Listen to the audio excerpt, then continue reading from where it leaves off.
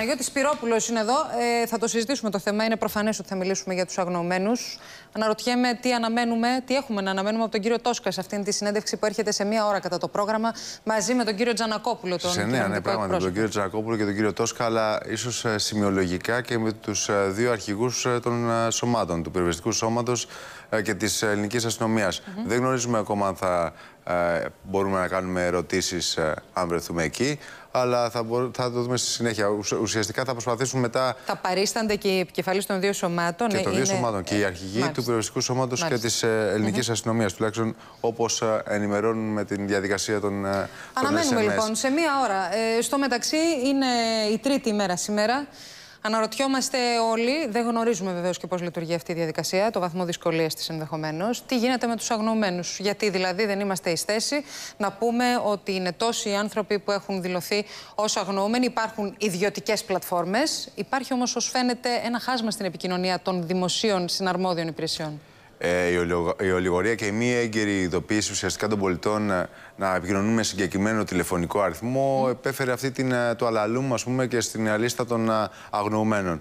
βλέπουμε ότι από τις, οι πολίτες από τις 6.30-7 παρα 20 το απόγευμα μέχρι και το ξημερώματα της επόμενης ημέρας mm. επικοινωνούσαν με τον τηλεφωνικό αριθμό 100 της άμεσης δράσης αντί του 199. Δεν είναι σε επικοινωνία η αστυνομία με την πυροσβεστική σε τέτοιες συγκυρίες. Αυτό ήθελα να σου πω ότι στην περίπτωση αυτή η ελληνική αστυνομία από ό,τι φαίνεται, άφησες στην άγνοιά της την πυροσβεστική αναφορικά και με τον αριθμό ε, των αγνοωμένων, των κλήσεων που έλαβε, αλλά και φυσικά και για τα στοιχεία εκείνων ε, που επικοινωνούσαν, ε, δίνοντας μια σαφή εικόνα ουσιαστικά για την τραγωδία. οι πρώτες κλήσεις στο πυροσβεστικό σώμα έγιναν 12 ε, ώρες αργότερα στις 10 η ώρα το πρωί της ε, Τρίτης. Και ένα άλλο θέμα είναι πως οι λίστες έχουν, το αγρομένο έχουν συμπληρωθεί από τέσσερα κέντρα επιχειρήσεων. Από την ελληνική αστυνομία, την πυροσβεστική, το λιμενικό και το, και το ΕΚΑΒ. Αυτή η καθυστέρηση, από ό,τι αντιλαμβάνεσαι, έχει καθυστερήσει την όλη διαδικασία και ο αριθμός των αγρομένων παραμένει ε, δυσθεώρητος και τριψήφιος. Ε, Αυτή η... είναι μια πληροφορία που την είδαμε και στο διεθνή τύπο. Από την άλλη, έχουμε δει υπουργούς όπως ο κύριος Κουρουμπλή σε τηλεοπτικό σταθμό πρόσφατα να διαψεύδει ότι πρόκειται για δεκάδες, να μιλάει για χαμηλότερο αριθμό. Και αυτό ακόμη είναι ενδεικτικό της ασυνεννοησίας που επικρατεί, ότι δεν ξέρουμε. Είναι σίγουρα ενδεικτικό γιατί ο αριθμός παραμένει τριψήφιος ε, και μάλιστα η διαδικασία, τουλάχιστον σύμφωνα με ε, αστυνομικές και πυροβιαστικές ε, πηγές, mm αναφέρει ότι ε, πως μετά από 20-30 μέρες θα δοθεί μια αξιόπιστη λίστα αγνοωμένων.